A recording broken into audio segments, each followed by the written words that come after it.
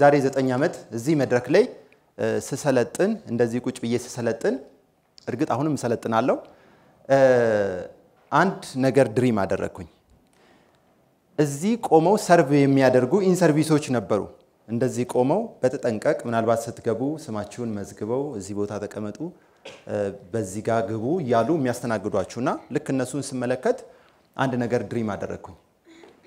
ምን department ተምሬ ነው እንደነሱ መሆን የምችለው ብዬ ማጥናት ጀመርኩኝ። እኔ በሆነ department በሆነ profession እዚህ ቦታ ላይ serve እንደሚደረግ ነበረ የማስበው። ለካ መስፈርቱ ቅንነት ብቻ ነው። ስለዚህ ዛሬ በቅንነት ነው እዚህ የመጣችሁት፣ እኛም በቅንነት ነው የተገኘነው። በዚህ በቅን መድረክ ፕሮግራም ላይ ከኔ ጋር አብረን የምንመለከተው የስልጠናችን ርዕስ የሚሆነው ጽናት የሚል ይሆናል። ዛሬ ስለ ጽናት እንማማራለን። እንግዲህ ጽናት ስንል በመጀመሪያ ጽናት ለምን ከሚለው እንነሳለን። ጽናትን define ከማድረጋችን በፊት ለምንድን ነው እሱ የምጸናው? ለምኔ ነው የምጸናው? ይሄ በጣም ወሳኝ ነገር ነው። ለምን የሚለው መመለስ አለበት። ስለ ጽናት አስፈላጊነት ልንናገር እንችላለን። ጽናትን define ልናደርግ እንችላለን። ግን ለምን ለምንድን ነው እሱ የምጸናው ነው። ጽናት ዴፊኒሽኑ የሚያምርበት ወደ ህይወትም ለመተግበር ዝግጁ የምንሆነው ጎል ካለን ነው፣ ግብ ካለን ነው። ስለዚህ ዛሬ ጽናት ስንል ለግባችን ነው ማለት ነው። ለህልማችን ላስቀመጥነው ነገር ማሳካት እፈልጋለሁ ብለን ላስቀመጥነው ነገር ለዛ ነገር ነው ዛሬ ጽናት ብለን የምንማማረው ማለት ነው። ስለ ጽናት ሲነሳ ሁለት ወሳኝ የሆኑ ነገሮች እዚህ ጋር ማንሳት ያስፈልጋል ማንሳት ያስፈልጋል። በህይወታችን ውስጥ ሁለት የማይስማሙ ነገሮች አሉ፣ ማሸነፍና ማቋረጥ። እነዚህ ሁለቱ ነገሮች በአንድ ላይ የሚሄዱ አይደሉም። በታሪክ ውስጥ የሚያሸንፉ ሰዎች የማቋረጥ ታሪክ የላቸውም። ያቋረጡ ሰዎች ደግሞ በፍጹም የማሸነፍ ታሪክ ሊኖራቸው አይችልም። ሁለቱን በአንድ ጊዜ ማስኬድ አይቻልም። ስለዚህ ያስቀመጥነው ግብ አለ፣ ህልም አለን። ህልማችንን ማሳካት እንፈልጋለን። ለምን? ስለሚገባን። የሚገባን ነገር አለ። ህልም ሲባል definition ኡን በጥቂቱ ማየት ያስፈልጋል። ህልም ማለት ዛሬ ላይ ሆነን ሊኖረኝ ይገባል፣ ላሳካው ይገባል፣ ልደርስበት ይገባል ብለን የምናስበው ምናልባትም ምን መስሎ የሚታይ ሊሆን ይችላል ምን መስሎ ሊታይ ይችላል? ከባድ መስሎ ሊታይ ይችላል። እኔ ይችን ቃል ስሰማ በቃ በደንብ ልቤ ውስጥ definition ኡ በደንብ ልቤን ይሞላዋል። ህልም ማለት ያ ነው። ልታሳካው የምትፈልገው ነገር ዛሬ ላይ ግን ምን መስሎ ሊታይ ይችላል? ከባድ መስሎ ሊታይ ይችላል። ስለዚህ ያ ማሳካት የምንፈልገውን ነገር ያ ልንደርስበት የምንፈልገውን ነገር ለማሳካት በምንጓዝበት ጉዞ ውስጥ ማቋረጥ የሚባለው ከማሳካታችን ጋር አብሮ በፍጹም ሊሄድ አይችልም። ካቋረጥን lose አደረግነው ማለት ነው፣ አናሳካው።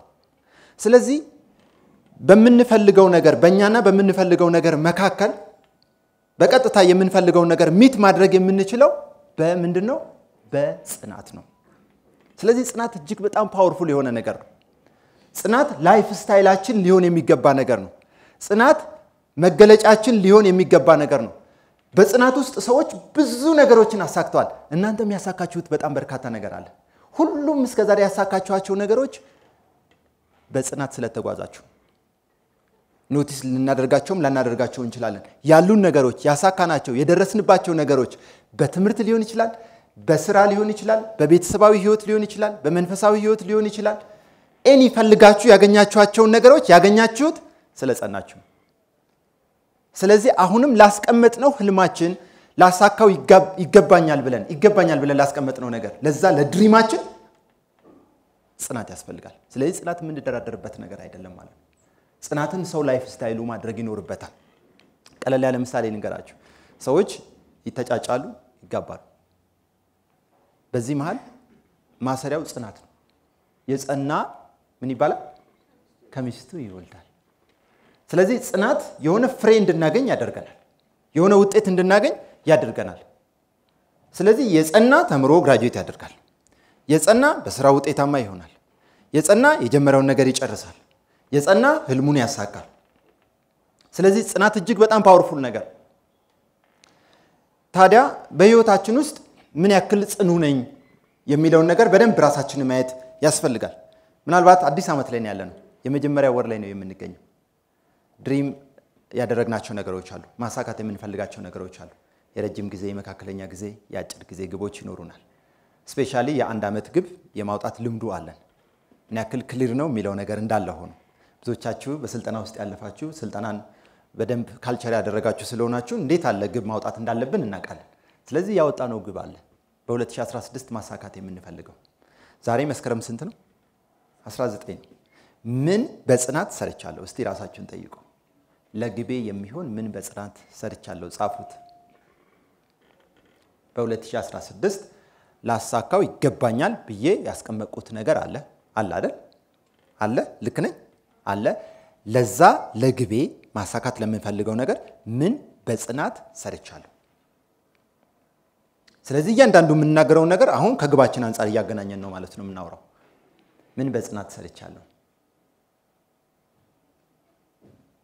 ምን በጽናት ሰርቻለሁ? ሳናቋርጥ ለ19 ቀናቶች የሰራናቸው ነገሮች ካሉን share እንደራረጋለን። ጻፉት። ግቡን ነግሮን ከዛ ደግሞ በጽናት እየሰራው ያለ ነገር ያለው ሰው share ያደርገናል ማለት ነው። ጻፉት። በ2016 በዚህ ዓመት ማሳካት የምንፈልገው ነገር አለን፣ ህልም አለን፣ ግብ አለን። ለዛ የሚሆን ነገር ምን በጽናት ሰርቻለሁ? በጽናት በተከታታይ ምን ሰርቻለሁ? አሊያም በአንድ ወር ውስጥ ሊሰራ የሚገባ ያስቀመጥኩት ግብ ነበረ። እሱን ምን ያክል ሰርቻለሁ?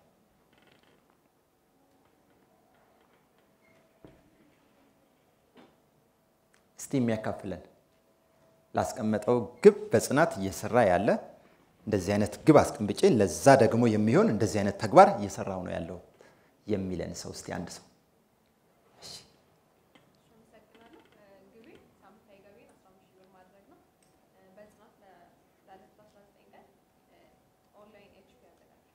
በጣም ጥሩ። ገቢዋን 15 ሺህ በሳምንት ማድረስ ነው። ስለዚህ በተከታታይ ለ19 ቀናት ገቢውን ማምጣት የሚችለው ተግባር ዋነኛው HP የሚባል ተግባር ነው። እሱን እየተገበርኩ ነው ብላለች። እናመሰግናለን። ሞቅ ያለ ሞራል ስጧት። ለሁሉም ነገር መነሻው የመጀመሪያው ለጽናት ስለ ጽናት ስናወራ ሀሳብ ነው። ጽናት ከየት ይጀምራል? ከሀሳብ ይጀምራል። ሀሳብ ምንድን ነው? እሱ ዘር ነው። ሀሳብ ዘር ነው። በአእምሯችን ውስጥ ያለ ዘር ይህ ዘር በተግባር የሚታጨር ነው። ስለዚህ መነሻው ምንድን ነው? እሱ ሀሳብ ነው። ለጽናታችን ለውጤታችን መነሻው ሀሳብ ነው። ምን አይነት ሀሳብ ነው እያስተናገድኩ ያለሁት? ከግቤ አንጻር፣ ከህልሜ አንጻር። አሁን ህልማችንን ግባችንን አስቀምጠን የምናስበው ሀሳብ ምን ያክል ከዛ ከምንፈልገው ነገር ጋር ግንኙነት አለው? ይህ በጣም ወሳኝነት ያለው ነገር ነው። ሀሳቤ ምን ያክል ግንኙነት አለው? ሰው በቀን ውስጥ እንግዲህ እስከ 65 ሺህ እስከ 70 ሺህ ሀሳቦችን ያመላልሳል by default። ይህንን ማቆም የምንችለው ነገር አይደለም። ቆጥረንም ደግሞ count እያደረግነው አሁን ይህን ያክል ሀሳብ አስቤያለሁ የምንለው ነገር አይደለም። በተፈጥሮ ያንን ክህሎት ተሰጥቶናል። ይህንን ሀሳብ የምናመላልስ ከሆነ በቀን ውስጥ ለህልሜ የሚሆን ሀሳብ ስንት percent ኡን ይይዛል? ይህ በጣም ወሳኝነት አለው። ላስቀመጥኩት ህልም በወር ውስጥ በሳምንት ውስጥ በአመት ውስጥ ማሳካት ለምትፈልገው ነገር ለምትፈልገው ጉዳይ የሚሆን ምን አይነት ሀሳቦችን እያሰብኩ ነው ያለሁት? ስንት ሀሳብ እያሰብኩ ነው ያለሁት? ህልማችን እውን የሚሆነው ግባችን የሚሳካው በቀን ውስጥ የምናስበውን ሀሳብ አብዛኛውን እዛ ነገር ላይ ካደረግነው ነው። ትኩረቱ እዛ ነገር ላይ ከሆነ ነው። ስለዚህ የምንፈልገው ነገር ሌላ፣ የምናስበው ነገር ሌላ ከሆነስ ይተላለፋል። ስለዚህ አቅጄ ግብ አስቀምጬ አላሳካውም ወደ ማለት እንመጣለን። ሌላ አዲስ መጽሐፍ ልንጽፍ ነው ማለት ነው። አቅዶ ያለማሳካት የሚል ስለዚህ ከሀሳብ ይጀምራል። በሀሳብ ልንመግበው ይገባል ማለት ነው። ሀሳብ ለሁሉም ነገር መሰረት ነው። ሁሉም ነገር እዚህ ዓለም ላይ exist የሆነው ነገር በሙሉ የሀሳብ ውጤት ነው። የሆነ ሰዓት ላይ ያልነበሩ የሆነ ሰዓት ላይ በማንም አእምሮ ውስጥ ምናልባት አሁን ላይ manifest ከሆነ በኋላ ያዩ ሰዎች አእምሮ ውስጥ ያልነበረ somebody አእምሮ ውስጥ የነበረ ሀሳብ exist ሆኖ ዛሬ ላይ ተገልጦ ብዙዎቻችን serve የምንደረግባቸው በጣም በርካታ ነገሮች አሉ። ያለንበት የስልጠና room የሆነ ሰዓት ላይ ሀሳብ ነበረ። እኛ እዚህ መምጣታችን ትላንትና ሀሳብ ነበር። even ዛሬ morning ላይ ሀሳብ ነበር። ስንመጣ ስልጠና ቦታ ላይ ሄዳለሁ የሚል እያሰብን ነው የመጣነው ሀሳብ ነበር። አሁን ደግሞ ምን ሆነ? manifest ሆነ። ስለዚህ ለምንፈልገው ግባችን ለህልማችን ምን አይነት ሀሳብ እያመላለስኩ ነው ያለሁት የሚለው ነገር እጅግ በጣም ወሳኝነት አለው። ስለዚህ winners never quit፣ quitter ኦች ደግሞ never win። በፍጹም ሁለቱ አንድ ላይ የሚሄዱ ነገሮች አይደሉም ማለት ነው። next እንግዲህ ስለ persistence ስናወራ ጽናት ስኬት የሚጎናጸፉበትን ከወደቁት ግለሰቦች የሚለይ ባህሪ ነው። ስኬት የሚጎናጸፉበትን ሰዎች ከወደቁት የሚለያቸው ምንድን ነው? ጽናት ነው። ስኬትን የሚጎናጸፉ ሰዎች አቺቨሮች ከወደቁ ሰዎች የሚለዩት በምንድን ነው? በጽናት ነው። ስለዚህ ልዩነትን የሚፈጥር ነው ማለት ነው ጽናት። እንቅፋቶችን፣ ተግዳሮቶችንና ፈተናዎችን በመጋፈጥ አቋማችንን በቆራጥነት የመቆየት ችሎታ በአቋማችን በቆራጥነት የመቆየት ችሎታ ነው። በአቋማችን በቆራጥነት የመቆየት ችሎታ ያንን የምንፈልገውን ነገር እስክናሳካ ድረስ challenge ኦችን፣ ተግዳሮቶችን በማለፍ የምንፈልገው ቦታ ላይ እስክንደርስ ድረስ በአቋም እንድንቆይ የሚያደርገን ምንድነው? ሰው አቋም ደስ ይላል? አቋም አለው እዚህ ነገር ላይ እከሌ እዚህ ነገር ላይ አቋም አላት የሚባሉ ሰዎች በሙሉ በዛ ዘርፍ ላይ እንደዚህ አቋም አላቸው ብለን በገለጽነው ዘርፍ ላይ succeed የሆኑ ሰዎች ናቸው፣ ስኬታማ ናቸው። ስለዚህ ህልማችን ላይ የሆነ አቋም ያስፈልገናል ማለት ነው። በዛ አቋማችን ውስጥ መቆየት ጽናት ይባላል። ለህልማችን የሚያስፈልግ ዋና የማንደራደርበት አንድ ነገር እሱ አቋም ይባላል። በዛ ዘርፍ ላይ መናወጥ የሚባል ነገር የለም። በዛ ዘርፍ ላይ እሱን የሚሸረሽሩ ነገሮች በሙሉ ሲመጡ ኖ እንላለን ማለት ነው። ምንም አንደራደርበትም፣ ለድርድር አይቀርብም አቋም ስለዚህ ለህልማችን ለድርድር የማይቀርበውን ዋናውን ነገር ይዘን ስንሄድ ጽኑ እንባላለን ማለት ነው። ጽናት ግለሰቦችን ወደ ግባቸው የሚያጓጉዝ ወደ መዳረሻቸው የሚገፋፋቸውና በአስቸጋሪ ጊዜያቶች ውስጥ እንዲቋቋሙ የሚያስችል አንቀሳቃሽ ኃይል ነው። ጽናት አንቀሳቃሽ ኃይል ነው። በአስቸጋሪ ሁኔታዎች ውስጥ እንድንቋቋም የሚያደርግ እንድንቋቋም ምንም ነገር አስበን ለማሳካት ስንሄድ መንገዱ አዲስ ነው ለእኛ ለአእምሯችን መንገዱ አዲስ ነው። ስለዚህ የሆኑ ሰዎች በዛ መንገድ ላይ ለሄዱ ሰዎች ቀላል ሊሆን ይችላል። አንተ እስካልሄድክበት ድረስ መንገዱ አዲስ ነው።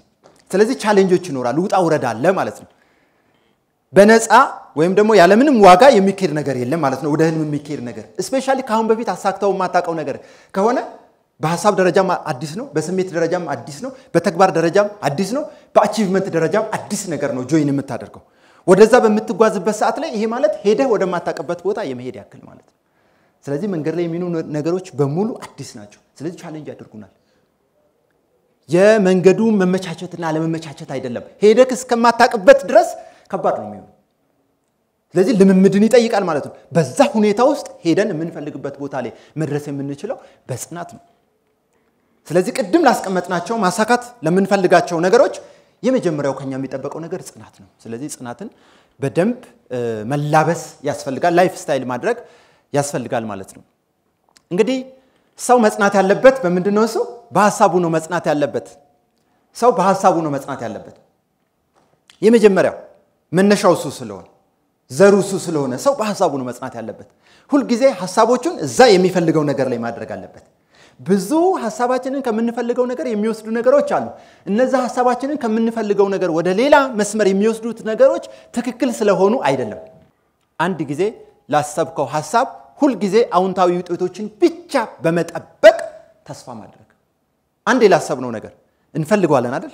ያ ያስቀመጥነውን ነገር ግባችንን ቢሳካ መልካም ነው አይደል? ለእኛ የሚሰጠን ደስታ አለ፣ ለሌሎች ሰዎች ደግሞ የሚተርፈው ነገር አለ። ብቻ የሚያስፈልገን ነገር ነው፣ ወሳኝ የሆነ ነገር ነው። አንዴ ካሰብነው በኋላ ሁልጊዜ አዎንታዊ የሆኑ ነገሮችን ብቻ ስለዛ ነገር ማሰብ በመሀል ስለማቋረጥ ማሰብ አይፈቀድም። ስለ ማሳካት ብቻ እዛ ቦታ ላይ ስለመድረስ ብቻ እዛ ቦታ ላይ ስለመሆን ብቻ ራስን በሀሳብ እዛ ቦታ ላይ መውሰድ ማለት ነው። ይሄ ትልቅ ጥበብ ነው። ከትግልም ያስወጣናል። ሰዎች የሚፈልጉት ነገር ላይ ሀሳባቸውን ሲያደርጉ activity ያቸው ብቻ አይደለም ያንን ነገር እንዲያሳኩ የሚያደርጋቸው። በጣም powerful ነው። ሀሳብን የምንፈልገው ነገር ላይ ማድረግ እረፍት ይሰጣል። ከዛ ጉዞ በሙሉ ወደ ሀሳባችን ነው የሚሆነው።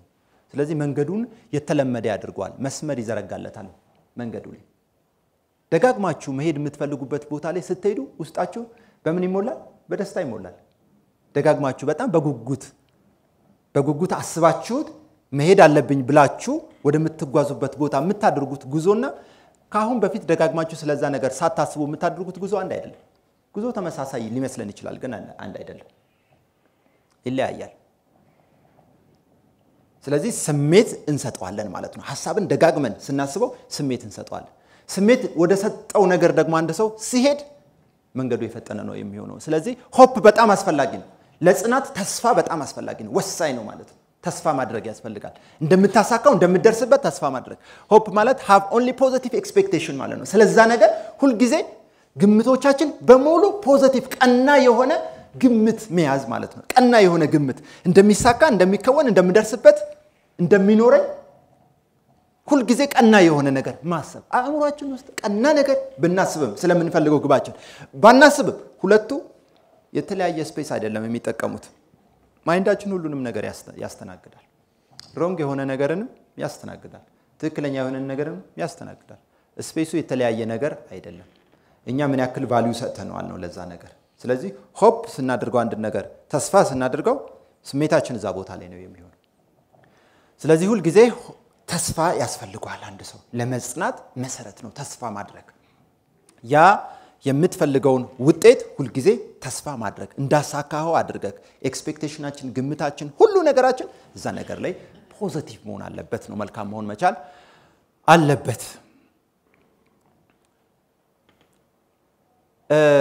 እንግዲህ በሀሳብ ጽናት ስንል በአእምሮ ያለውን ህልም እስኪሳካ ድረስ በጽናት በአእምሮ ውስጥ መያዝ ማለት ነው። እስኪሳካ ድረስ እስኪወለድ ድረስ ማለት ነው። ልክ እንደ ጽንስ ጽንስ እስኪወለድ ድረስ ቀኑ እስኪደርስ ድረስ እናት የሚያስፈልገውን ነገር በሙሉ እያሟላች እየተንከባከበች አንዳንድ ነገሮችም ከዛ ተቃራኒ የሆኑ ነገሮችን ለጽንሱ አዳጋች የሆኑ ነገሮችንም no እያለች protect አድርጋው እስኪወለድ ድረስ ትጠብቃለች በጽናት። በአእምሯችን ውስጥ ያሉ ሀሳቦች የሚያስፈልጉን መሆናቸውን ማረጋገጥ በቂ ነው። ከዛ በኋላ protect ማድረግ ያስፈልጋል። protect ማድረግ ከዛ ተቃራኒ የሆኑ ነገሮች ያንን ሀሳብ የሚያስጥሉን ነገሮች የሚያመነምኑት ያንን ሀሳብ የሚሸረሽሩ ነገሮች ሲመጡ no ማለት ያስፈልጋል። manifest እስኪሆን ድረስ ማለት ነው። እስኪታይ ድረስ እስኪገለጥ ድረስ። በዚህ መሃል በጣም የሚገርመው ነገር ሰዎች አያዩትም። የእኛን ሀሳብ ሰዎች አያዩትም። ብዙ recognition እንዳንጠብቅ አንድ ሀሳብ በአእምሯችን ውስጥ ባለ ሰዓት ላይ ብዙ recognition፣ ብዙ ጭብጨባ፣ ብዙ እገዛዎችን እንዳንጠብቅ በርታ የሚሉ ብዙ ነገሮችን እንዳንጠብቅ ላይኖር ይችላል። ይሄ ጸባዩ ነው። ምክንያቱም ያንን ሀሳብ ያሰብከው አንተ ነህ፣ አንተ ጋር ነው ያለው። ምቾቱን ምቾትም ከሌለው ሁሉን ነገር feel የምታደርገው ስሜት የምትሰጠው አንተ ነህ። ቢሳካ በኋላ የሚኖረውን blessing የምታውቀው አንተ ነህ። hope ያደረግከው አንተ ነህ። ሌላ ሰው በእንደዛ መልኩ አላየውም ሊሆን ይችላል። ስለዚህ ብዙ ሰዎች ገና ያሰቡትን ነገር ሰው recognize እንዲያደርግላቸው ይፈልጋሉ። ማንም በሀሳብ ደረጃ recognize የተደረገለት ሰው የለም። ስኬታማ የሆኑ ሰዎች አብዛኞቹ no የተባሉ ናቸው። ግን ምን አደረጉት? በሀሳብ ጸኑ፣ protect አደረጉት ሀሳባቸውን። ዛሬ ውስጣችን የሚመላለሰውን ነገር ገና መስከረም 19 ላይ ነን ያለነው። ገና ስላችሁ ግን 11 ወር ነው የቀረን 2016 ሊያልቅ።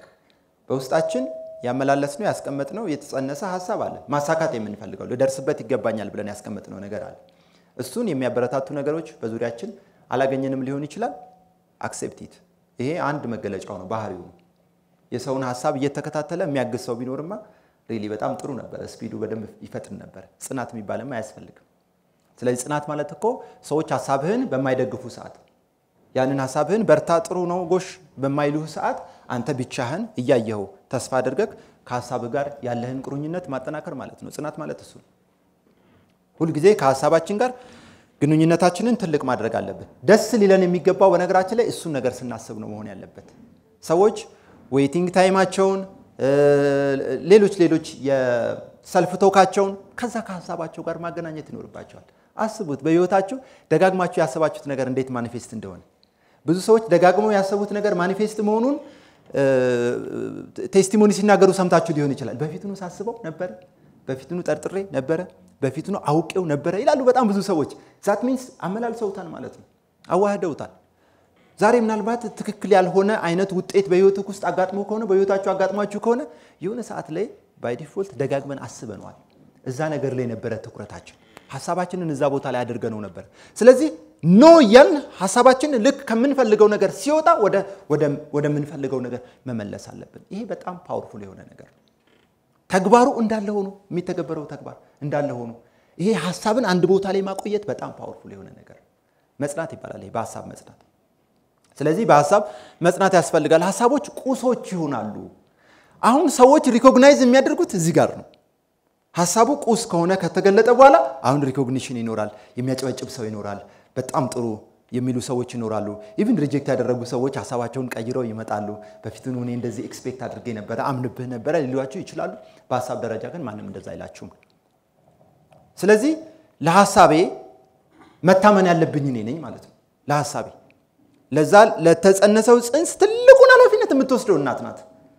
really እንደ እናት ሌላ ሰው feel የሚያደርግላት ይመስላችሁ? ያደርግላታል። በዙሪያ ያሉ ሰዎች ያደርጉላታል። አይተው የሆነ ነገር አይተው አዎ እንደዚህ ብታደርጊ ምናምን ብለው external የሆነ ጀጅ አድርገው የሆነ ግምት ሊያስቀምጡ ይችላሉ። ትክክለኛውን feeling ግን ብቸኛዋ የምታውቀው እሷ ራሷ ናት።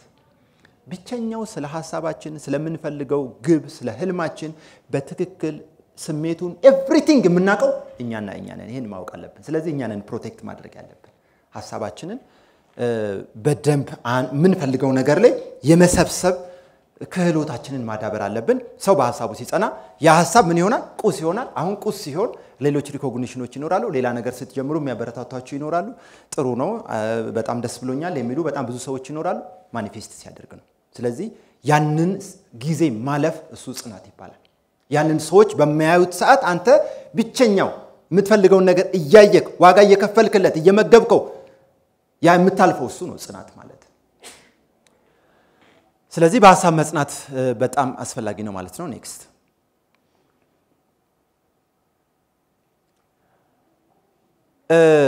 እንግዲህ አንድ ሰው በሀሳብ ውስጥ ሲጸና ጽናታችንን በጣም የሚደግፍልን ነገር እምነታችን ነው። ሰው በሀሳቡ ሲጸና ወደ ማመን ያድጋል፣ ወደ ማመን ያድጋል። እያንዳንዱ ነገር ላይ ሰው ሲያስብ ከዛ ያንን የሚያስበውን ነገር ስሜት ሲዘራበት ከዛ እያመነ belief system ኡ እያደገ እያደገ እያደገ ይመጣል። ሰው ደግሞ ያመነውን ነገር ምን ያደርጋል?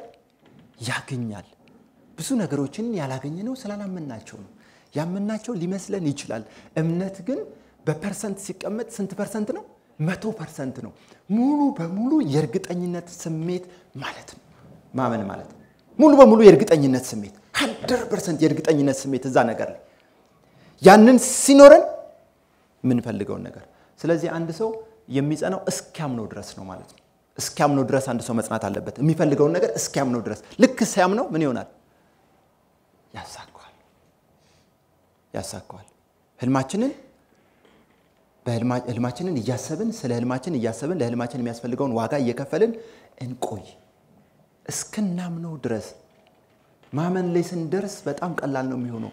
አንድ ሰው ውሃ ወደ ተራራ ማውጣት ቢፈልግ ብዙ power ይፈልጋል። ውሃ ወደ ተራራ ለመውጣት የኤሌክትሪክ power ሊሆን ይችላል፣ ጄኔሬተር ልትጠቀሙ ትችላላችሁ። whatever power ይፈልጋል ወደ ተራራው ሲወጣ። ተራራው ላይ ከደረሰ በኋላ ግን ለመፍሰስ በጣም ቀላል ነው የሚሆነው። ወደምትፈልጉበት አቅጣጫ ብቻ መጠቆም የሚጠበቅባቸው። ከዛ ምንም አይነት power አይፈልግም። በራሱ flow ያደርጋል። በህይወታችን ውስጥ የምንፈልጋቸውን ነገሮች የምናስባቸው እስክናምናቸው ነው። ስለዚህ ሰው መጽናት ያለበት እስኪያምነው ነው አንድን ነገር። ልክ ስታምኑት ከትግል ትላቀቃላችሁ። ከዛም መስመሩን ይዞ ይሄዳል በራሱ። ታዲያ ብዙዎቻችን ምን ያክል እንደተቃረብን አናቅም። ወደ ተራራው ጫፍ ምን ያክል እንደተቃረብን አናቅም። ስለዚህ ክዊት የምናደርግ ከሆነ የምናቋረጥ ከሆነ አሁን ነገሮች ይበላሻሉ ማለት ነው። ያ የምንፈልገው ውጤት አይመጣም። እሱ ብቻ አይደለም ደግሞ ይህን ያክል ዋጋ ከፍዬ ግን አልተሳካለኝም ደግሞ ብለን ልንናገር እንችላለን። ግን ትክክለኛው ነገር እሱ ነው ወይ ነው? የሚከፈለው ዋጋ ምን ያክል ከፍለናል? እኔ አንዳንድ ነገሮችን ምን ያክል ዋጋ ከፍያለሁ ብዬ ራሴን ስጠይቅ ይሄ የተገበርኩትን ነገር ፈጣሪ ፊት በወስደውና ከዛ ባሳየው ቢያይልኝ ከዛ ይሄን ይሄን ይሄን ተግብር ያለው ብዬ ከፊቱ ባቀርብ ሪሊ ቆሜ መናገር የምችለው ነገር ነው ብዬ ራሴን ስጠይቅ አብዛኞቹ ነገሮች ያቋረጥናቸው ጀምረን ያቋረጥናቸው ነገሮች ሚዛን የማይደፉ ናቸው። somewhere በቃ fail የሚያደርጉ ናቸው። ስለዚህ እስከሚፈለገው ውጤት አልሄድንም ማለት ነው። እስከሚፈለገው እስከ ተራራዋ ጫፍ አልሄድንም። ተራራዋ ጫፍ ላይ የደረሰው ከዛ በኋላ ወደሚፈለገው አቅጣጫ ይሄዳል። በ life ኣችን ውስጥ የምንጸናው እስክናምነው ነው። ተራራው ላይ ስትደርስ አምነሃል። ከዛ በኋላ ሁሉም ወደምትፈልገው ነገር ይሄድልሃል። ወደምትፈልገው ነገር whatever ሰው ደግሞ ያመነው ነገር ያሳካል። ማመን በጣም ትልቅ power ያለው ነገር ነው። ስለዚህ ሰው የሚጸናው እስኪያምነው ድረስ ነው ማለት ነው። ህልማችንን እስክናምነው ድረስ ግባችንን እስክናምነው ድረስ መጽናት ያስፈልጋል። በምን በሀሳብ በሀሳብ የምንለው እዛ ጋር የተገለጠው ምንም አይነት ውጤት ላይኖር ስለሚችል ብዙዎቹ ነገሮች በአእምሮ ውስጥ የሚመላለሱ ነገሮች ሊሆኑ ይችላሉ። አንዳንድ የሚተገበሩ ነገሮች ይኖረ በስሜት የምናስተናግዳቸው ነገሮች ይኖሩ። እዛ ውስጥ መጽናት ያ የምንፈልገውን ነገር እንድናየው ያደርገናል። ስለዚህ እስክታምነው ድረስ መጽናት ያስፈልጋል። እንግዲህ ጽናት ሲባል ለእድገት በጣም አስፈላጊ ነው። ለእድገት ጽናት ለእድገታችን በጣም ያስፈልጋል። እድገት ሲባል በእያንዳንዱ ህይወታችን ውስጥ አንድ step ከፍ ማለት ማለት ነው። ለከፍታ በጣም ያስፈልጋል ጽናት። ለእድገት እጅግ በጣም ወሳኝ። ማደግን ደግሞ እንፈልጋለን ሁላችን። ማሳካት የምንፈልገው በጣም ብዙ ነገር አለ። መቀየር የምንፈልገው ነገር አንድ step ከፍ ማለት እንፈልጋለን። እኛ ከፍ ማለት ባንፈልግም በተፈጥሮ ደግሞ ብዙ ነገሮች እየተቀየሩ ነው ያሉት። ብዙ ነገሮች እየተቀየሩ እድሜያችን ከአምናው ዘንድሮ አንድ ዓመት ጨምሯል። that means ወደ ሞታችን አንድ ዓመት ተቃርበናል ማለት ነው። እነዚህ ነገሮች በተፈጥሮ ያሉ ማስቆም የማንችላቸው ነገሮች ናቸው። በዚህ ውስጥ የሰው ልጅ ደግሞ ማደግ አለበት፣ ማደግ ይፈልጋል። ስለዚህ ለማደግ ጽናት ጽናትን adapt ማድረግ ያስፈልጋል በህይወታችን ውስጥ ብዙ ጀምረን ያልተሳኩልን እኔ አይሳካልኝም ብለን የደመደምናቸው ነገሮች ምናልባትም ጽናት ስለሌለ ሊሆን ይችላል። ምናልባትም ወደዛ ወደምንፈልገው ነገር ምን ያክል እንደተቃረብን አናውቀው እንጂ ትንሽ አንድ ማይል ሊሆን ይችላል የቀረን። ስለዚህ እስክናሳካው ድረስ መጽናት በጣም ያስፈልጋል። ስኬት ማለት ከአንድ ውድቀት ወደ ሌላ ውድቀት ጠንካራ የመለወጥ ፍላጎትን ሳይቀንሱ መሄድ ማለት ነው። እንግዲህ ወደምንፈልገው ነገር ስንሄድ failure ኦች ይኖራሉ፣ challenge ኦች ይኖራሉ፣ ተግዳሮቶች ይኖራሉ፣ የሚመጥን ተግዳሮቶች ይኖራሉ። ብዙ የሚያጋጥሙን challenge ኦች በነገራችን ላይ ከአቅማችን በላይ አይደሉም። ምንም አይነት ፈተና ከአቅሙ በላይ ሰው አይፈተንም። ሰው የሚፈተነው ከሚፈልገው ነገር አንጻር ነው። ትልቅ ነገር የሚፈልግ ሰው እንደዛው እንደሚፈልገው ነገር ትልቅ ፈተናዎች፣ ትልቅ ተግዳሮት ያጋጥሟል። ያንን ተግዳሮት ሲያልፍ ተመጣጣኝ የሆነ ነገር ደግሞ ያገኛል። ስለዚህ ስኬት ማለት ከአንድ ውድቀት ወደ ሌላ ውድቀት ጠንካራ የመለወጥ ፍላጎትን ሳይቀንሱ መሄድ ማለት ነው። ፍላጎት የሚለው ነገር በጣም ወሳኝነት አለው። ጠንካራ ፍላጎትን ሳይቀንሱ ሳይሸራረፍ፣ ስሜቱ እንደተጠበቀ ማለት ነው። እንደተጠበቀ ልክ ከ challenge በኋላ ወዲያውኑ የሚያጋጥመን ነገር የስሜት ዝቅ ማለት ነው። ያ የስሜት ዝቅ ማለት በፍጹም ሳይኖር የምንፈልገው ነገር ላይ በማተኮር ሰው በሀሳቡ ከሚፈልገው ነገር ጋር ከፍተኛ የሆነ ቁርኝነት ሲኖረው ለ challenge ኦች ጆሮ የለው ጆሮ የለው።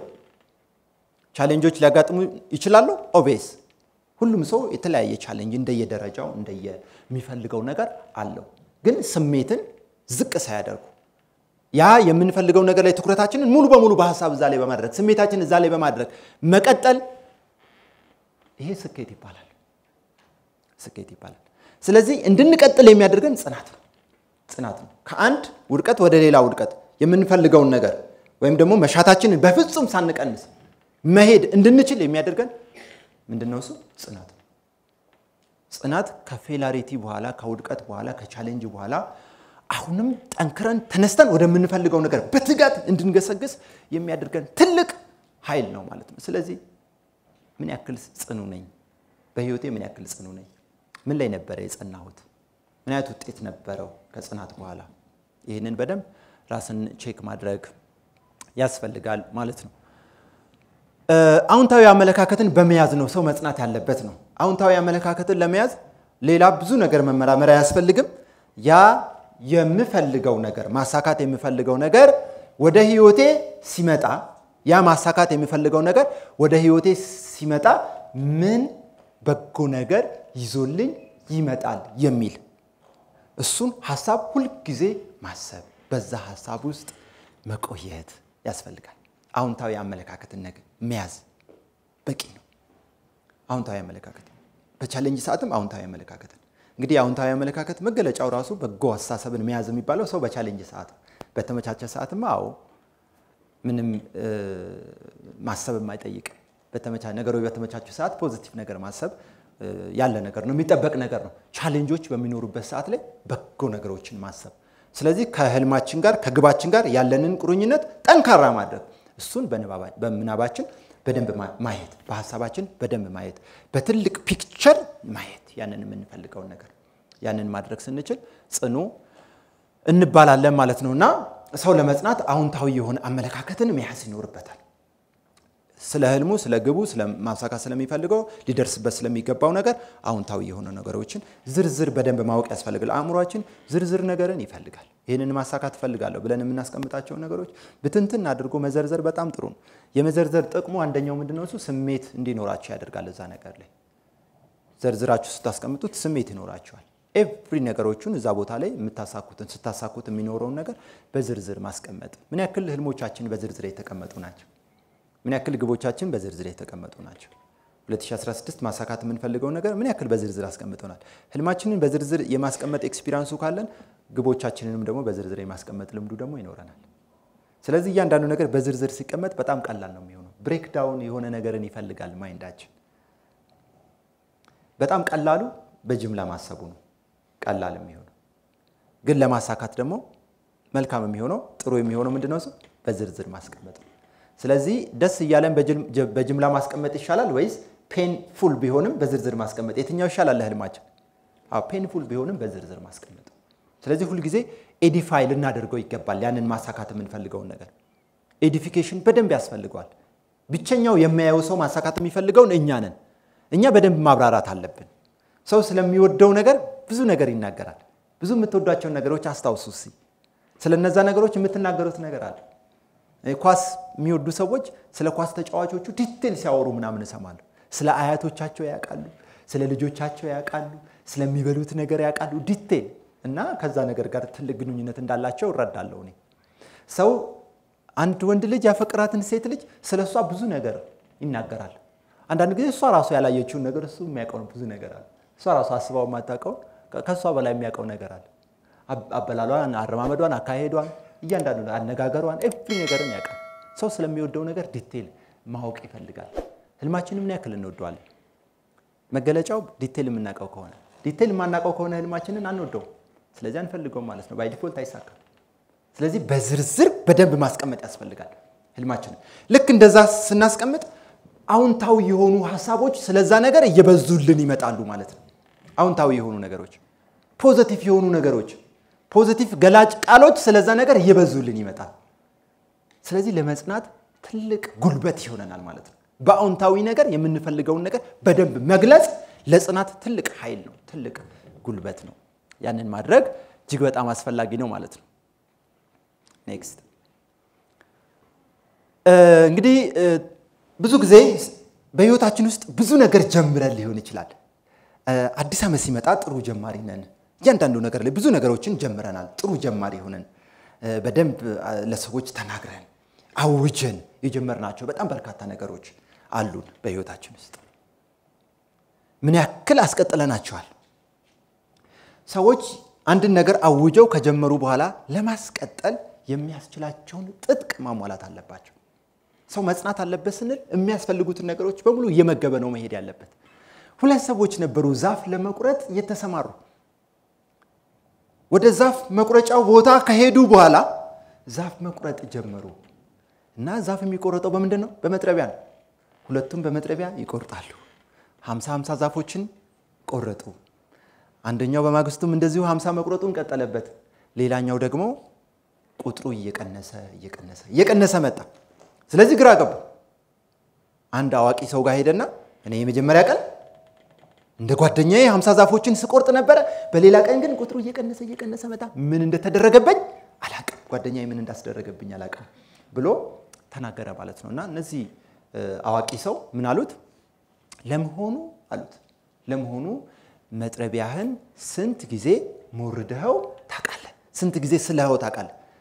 ቢላዋ ይሳላል፣ መጥረቢያ እንደዚሁ ስለት ያላቸው ነገሮች በሙሉ ስንተገብርባቸው ስለታቸው እየቀነሰ እየቀነሰ ይመጣል። ስለዚህ መውረድ የሚባል ነገር አለ። በህይወታችን ውስጥ ማሳካት የምንፈልገው ነገር አለ። ወደዛው ማሳካት ወደምንፈልገው ነገር ስንሄድ ሁልጊዜ አዳፕ እያደረግናቸው መሄድ ያለብን ተግባራቶች አሉ። ወደ ህይወታችን አድ ማድረግ ያለብን ነገሮች አሉ። እንደዛ ብሎ ሲጠይቀው ምን ብሎ ነው የመለሰው? እኔ ጊዜ የለኝም አለ። ጊዜ የለኝም፣ ሞርጄው አላውቅም። ለምን ጊዜ የለኝም። ምን ማድረጊያ ጊዜ የለው? መጥረቢያውን የሚሞርድበት ጊዜ የለው። ነገር ግን ምን ይፈልጋል? ብዙ እንጨት መቁረጥ ይፈልጋል። በህይወታችን ብዙ ማሳካት የምንፈልገው ነገር አለ። ያ ማሳካት የምንፈልገውን ነገር ሊያሳኩልን የሚችሉ ተግባራቶች አሉ። adapt መደረግ ያለባቸው ነገሮች አሉ። የሚያስፈልጉን ግብአቶች አሉ። ግብአቱን ለመሰብሰብ ደግሞ ዝግጁ አይደለንም። ሁለቱ አንድ ላይ የሚሄዱ ነገሮች አይደሉም። አንድ ላይ አይሄዱም ፈጽሞ። ስለዚህ ሂድና አሁኑኑ መጥረቢያህን ሞርድ። አስቡት፣ መጥረቢያውን ለመሞረድ ዝግጁ ያልሆነው ሰው አንድ እንጨት በመቁረጥ ቀኑን ሙሉ ያባክናል። ስለዚህ ብክነት የትኛው ነው? አሁን ብክነትን ይሄ ሰው ያውቃል፣ ግን definition ኑ የተሳሳተ የተሳሳተ definition ነው። ስለ ጊዜ ማባከን፣ ጊዜን ስላለመጠቀም የተሳሳተ definition ነው ያለው። በህይወታችን ውስጥ ስኬትን እንፈልጋለን፣ ህልም አለን፣ ግባችንን ማሳካት እንፈልጋለን። define ያደረግንበት የምንሄድበት ነገር ግን በጣም ወሳኝነት አለው። ከዛ በኋላ ይህንን ምክር ሰጡት ነው። ዛሬ በህይወታችን ውስጥ ማሳካት የምንፈልገው ነገር አለ፣ ግባችን አለ። ያንን ግባችንን ህልማችንን የሚመግቡ ነገሮችን ወደ ህይወታችን ማምጣት መቻል አለብን። platform መዘርጋት አለብን፣ የምንመገብበት አእምሯችን የሚመገብበት ወደ ህልማችን እንድንሄድ የሚያደርጉ ተግዳሮቶች ስላሉ ተግዳሮቶቹን አቅም ሲኖረን ነው መወጣት የምንችለው። ማለፍ የምንችለው አቅም ሲኖረን ነው። ስለዚህ ጉልበት የሚሆኑን አቅም የሚሰጡትን ነገሮች ለህልማችን የሚያስፈልጉትን ነገሮች ላይ መደራደር የለብንም። ስለዚህ አንድ ሁለት ሶስት ተብለው የሚዘረዘሩ ተግባራቶች መኖር አለባቸው። ሰው ወደ ህልሙ ወደ ግቡ ሲሄድ በጽናት እንዲሄድ ከሚያደርጉ ነገሮች መካከል አንዱ ለዛ ለህልሙ ለሚፈልገው ነገር ለግቡ ግብአት የሚሆኑ ነገሮችን ማወቅ ነው። በትክክል መለየት እና እነዛን ነገሮች አዳፕ እያደረጉ መሄድ እጅግ በጣም ወሳኝ ነው ማለት ነው። እንግዲህ ጽናት ስንል የምንፈልገውን ነገር እስክናገኝ ድረስ ነው። በሀሳብ ያለው ነገር ማኒፌስት እስኪሆን ድረስ ነው አንድ ሰው መጽናት ያለበት። ብዙ ጊዜ ሰዎች ጀምረው ያቋርጣሉ። ጀምረን ያቋረጥናቸው በጣም በርካታ ነገሮች ሊኖሩ ይችላሉ። በጣም የሚገርመው ነገር ልክ ጀምረን ስናቋርጥ ሌላ እኛን የሚቆጣጠረን ነገር እንዳለ notice ማድረግ ይኖርብናል። በነገራችን ላይ ልክ ስኬታማ ሆናለሁ ብሎ አንድ ሰው የሚፈልገውን ግብ አስቀምጦ ወደዛ ጉዞ ሲያደርግ ጉዞውን የሚገታ ከሆነ ከጉዞው የሚመለስ ከሆነ ወይም ደግሞ give up የሚያደርግ ከሆነ የሚያቋርጥ ከሆነ ውድቀት የሚባል ነገር እንደሚያገኘው notice ማድረግ አለበት። እዚህ ጋር የወፏንና የእንቁራሪቷን ምስል ትመለከታላችሁ። ሁለት ነገር ነው የምታዩት። እንቁራሪቷ እንዳትዋጥ የወፏን አንገት አጥብቃ ይዛለች። ወፏም ደግሞ ሁለት ነገር አለ። መገብ ትፈልጋለች፣ አዘሴም ታይም ደግሞ አንገቷንም ተይዛለች። ስለዚህ ሁለቱም የራሳቸውን ተግባር እየተከበሩ ነው። በህይወታችን ውስጥ ማሳካት የምንፈልገው ነገር አለ። የወፏ ስኬት እንቁራሪቷን መመገብ ነው። የእንቁራሪቷ ስኬት ደግሞ የወፏን አንገት በማነቅ እንዳትዋጥ ማድረግ ነው። any ማሳካት ከምንፈልገው ነገር ጀርባ እንደዚህ አይነት ተግዳሮቶች አሉ፣ failure ኦች አሉ፣ ማጣቶች አሉ። ልክ ማሳካት የምትፈልገው ነገር እንዳለ ሁሉ ስትጸና ታሳካለ፣ ሳትጸና ስትቀር ግን really fail የምታደርገው ነገር ግን አለ። እሱን notice ማድረግ ያስፈልጋል። ያ የማይገባን ነገር ነው፣ መጸየፍ ያስፈልጋል። ስለዚህ ልክ ስትጸየፈው ትጸናል። ጽኑ መሆን ያስፈልጋል። ስንጸና ሁሉ ጊዜ ማሰብ ያለብን እዚህ ጋር ያለው picture በደንብ ገላጭ ነው። ማዕድን ቆፋሪዎች ሁለቱ ማዕድን እየቆፈሩ ነው። አሰልቺ ነው ቁፋሩ፣ አድካሚ ነው። ሁሉ ቦታ ላይ የሚከፈሉ ዋጋዎች አንተ እንደምትፈልገው ነገር ቀላል አይደሉም። ትልቅ ነገር ከፈለግ ትልቅ ዋጋ መክፈል አለብን። ስለዚህ ማዕድን አውጥተው ማዕድኑን ካወጡት በኋላ ጥሩ ገንዘብ ማግኘት ይችላሉ። ስለዚህ መጥራት ነበረባቸው። ሁለቱም ቁፋራቸውን ቀጠሉ። አንደኛው ደከመው፣ ሰለቸው ሰለቸው። ከዛ ትቶ ተመለሰ። እጅግ በጣም ተቃርቦ ነበረ ለማዕድኑ። በህይወታችን ውስጥ ወደኋላ ተመለስ የሚል አይነት ስሜት ከመጣ ይህንን ሀሳብ በደንብ ማሰብ ያስፈልገናል። ምን ያክል እንደተቃረብኩ ስለማላቅ መጽናት አለብኝ ብለን ለራሳችን መንገር አለብን። ስለዚህ ሉዝ አደረገው። አስባችሁታል? ከዚህ ሰው በኋላ መጥቶ እዚህ ማዕድን ቁፋሮ ላይ የሚሰማራ ሰው ምን እንደሚያገኝ? አንዳንድ ጊዜ እድለኛ ነው እንላለን አይደል? አይደለም፣ አይደለም። እዚህ ቦታ ላይ ሰዎች ማዕድን ቆፍረው አላገኙም የሚል ነገር አለ። ያንን ሀሳብ ሰብሮ ነው next ሰውየው መጥቶ እዚህ ጋር ቆፍሮ ይህንን ማዕድን የሚያገኝ። ሮበርት ኪዮሳኪ በጻፈው መጽሐፍ ላይ የማዕድን ቆፋሪውን ታሪክ በደንብ አድርጎ ገልጾታል። ሰውየው ማዕድን ይቆፍራል፣ ማዕድን ማግኘት አልቻለም። ማሽነሪዎቹን በጨረታ ምን አደረጋቸው? ሸጣቸው። ስለዚህ ሌላ ማሽነሪዎቹን የገዛው ሰው ማሽኖቹን እስካነሳቸው ድረስ ቆፈር ቆፈር አድርጉ ብሎ ሄደ። ስለዚህ ወዲያውኑ ሲቆፍሩ ማዕድኑን አወጡት ነው። በሌላ ቀን ይህንን ቦታ የሸጠላቸው ሰው ጋዜጣ ሳነብ የመጀመሪያ ገጽ ላይ በጥቂት ቀናቶች ውስጥ ሚሊዮነር የሆነ ሰው የሚል ታሪክ አየው። picture ኡን ስመለከት፣ ፎቶውን ስመለከት ያ ማዕድኑን የማዕድኑን ማሽነሪዎች የሸኩለት ሰው ነው ይላል። እኔ ከዛች ሰዓት ጀምሮ ህይወቴ ተቀየረ ይላል። በጣም ነው የሚገርመው የሁለቱም ሰዎች ታሪክ በጣም ነው ያስተማረኝ። አስቡት፣ እሱ ለብዙ ዓመታት የደከመበትን ነገር ውጤቱን አላገኘም ስላልጸና ስላልጸና እድል አይደለም። ያኛው ሰው ደግሞ መጥቶ ማሽነሪዎቹን እስከወስዳቸው ድረስ ብሎ ሞከረ። አስባችሁታል? ምን አይነት ሙከራ ነው ይሄ ሙከራ? ለዘመናት ማዕድን ያጣው ሰው ማሽነሪ እንደሸጠለት እያወቀ ግን ሞክሮ አለ። ጽናት ማለት ይሄ ነው። ስለዚህ የሚፈልገውን ነገር አገኘ ማለት ነው። ያ ሰው ደግሞ በጋዜጣ ላይ ካነበበ በኋላ ከዛ በኋላ life ኡ የተቀየረ ተማረበት። አይገርማችሁም? ባለመጽናቴ ነው ውጤት lose ያደረግኩት። ስለዚህ ከዛ ጊዜ ጀምሮ ተማርኩበት። በፊት ላይ ከተጓዝኩት ጉዞ በቀለለ መንገድ በትንሽ ጊዜ ውስጥ እኔም ወደ ሀብት ማማ መጣሁ ይላል። ስለዚህ ጽናት እጅግ በጣም ወሳኝ ነው። ከጽናት ምናልባት ከምንፈልገው ግባችን አቋርጠን፣ ተው፣ ወደኋላ ተመለስ የሚሉ ነገሮች ሲያጋጥሙን ሁልጊዜ ይህንን ታሪክ በደንብ ማሰብ ያስፈልጋል ማለት ነው። መቼም ማቋረጥ የለብንም የምንፈልገውን ነገር እስክናገኝ ድረስ። እንግዲህ ምናልባት ውሃና ድንጋይን ስንመለከት ሁለቱ ውሃ ቀላል ነገር ይመስላል። ድንጋይ በጣም ጠንካራ ነው። በትንሽ ቀዳዳ ውስጥ የምትወርድ ውሃ በድግግሞሽ ድንጋይን ይሰብራል። ውሃ ድንጋይን የሰበረው ጠንካራ ስለሆነ አይደለም፣ የተለየ ኃይል ስላለው አይደለም፣ በጽናት ነው። ጽናት የሚያመጣው ውጤት እጅግ በጣም ትልቅ ነው። በጽናት ውስጥ የሚመጣው ውጤት ቀላል አይደለም። አንኤክስፔክትድ የተደረጉ ብዙ ሰዎች አይሆንም የሚሏቸው ነገሮች በጽናት ማምጣት እንችላለን፣ ማሸነፍ እንችላለን፣ ልንደርስባቸው እንችላለን። ስለዚህ ጽናትን መላበስ በጣም ያስፈልጋል ማለት ነው። ምንፈልገውን ነገር እስክናገኝ ድረስ ደጋግሞ ማንኳኳት በጣም ያስፈልጋል። ደጋግሞ ማንኳኳት፣ ደጋግሞ ማንኳኳት። ምንድን ነው እሱ የምፈልገው ነው እንዲከፈትልኝ። ስለዚህ ምንድን ነው ማድረግ ያለብኝ? አንኳኩቼ አንኳኩቼ አልከፍታሉኝ አይሰራም ማለት ነው። የምፈልገው መመለስ አይደለም ማለት የምፈልገው መሞከር አይደለም። አንኳኩቶ የመሞከር የሚባል ነገር የለም። እንዲከፈትልኝ ነው የምፈልገው። እስኪከፈት ድረስ ደጋግሞ ማንኳኳት እጅግ በጣም አስፈላጊ ነው ማለት ነው። ስለዚህ አንዳንድ ጊዜ ተግባሩን ቀይረው ቀይረው የሚሉ ነገሮች ሊመጡ ይችላሉ። ዋና ተግባር አይቀየርም። የተለያዩ ስትራቴጂዎችን ግብአት የሚሆኑ ስትራቴጂዎችን አዳፕት ልናደርግ እንችላለን። ዋና የሚባል ተግባር ግን መቀጠል አለበት። የማዕድኑ ዋና ተግባር መቆፈር ነው። የአደን ላይ የተሰማራው ሰው ዋናው ተግባር ትንሽ መተኛት አይደለም፣ ማደን ነው። በንቃት የምንፈልገውን ነገር እስክናገኝ ድረስ በንቃት በተግባር ውስጥ መቆየት እጅግ በጣም አስፈላጊ ነው። ውጤቱ መጣ፣ እሱ ግን እጁን መልሷል። አንኳኳ አንኳኳ አንኳኳ፣ እሱ ተመለሰ። በሩ ግን ተከፈተ። የሚገባ ሰው አልነበር። በህይወታችን ውስጥ ብዙ የጀመርናቸው ነገሮች ብዙ ያንኳኳናቸው በሮች እስኪከፈቱ ድረስ እስካልጸናን ድረስ እኛ ከሄድን በኋላ ተከፍቷል። እነዚህ በሮች ግን መግባት አልቻልንም። እኛ የምንፈልገው ምን ነበር? መግባት አይደል? እንዲከፈትልን መግባት ነው የምንፈልገው። ስለዚህ lose እናደርጋለን ነው። persistence በጣም ወሳኝ ነው። የምንፈልገው ነገር እስኪሆን ድረስ መጽናት እጅግ በጣም ያስፈልጋል ማለት ነው። ጽናት የሚያስፈልገው በሚፈትን ሁኔታ ውስጥ ነው። ሁልጊዜ ሰው ጽኑ ነው የሚባለው ፈታኝ የሆነ ነገር ሲመጣ ነው። ስለዚህ ፈተና አለ ማለት ነው።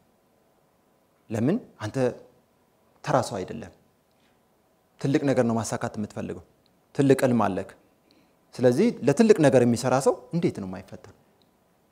ለህልሙ የሚመጥን ፈተናዎች ያጋጥሙታል። እነዛን ማለፍ የሚቻለው በጽናት ውስጥ ነው።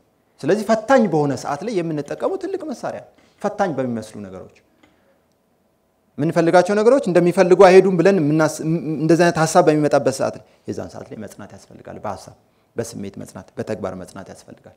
የዛን ሰዓት የምንፈልገውን ነገር ማግኘት እንችላለን ማለት ነው።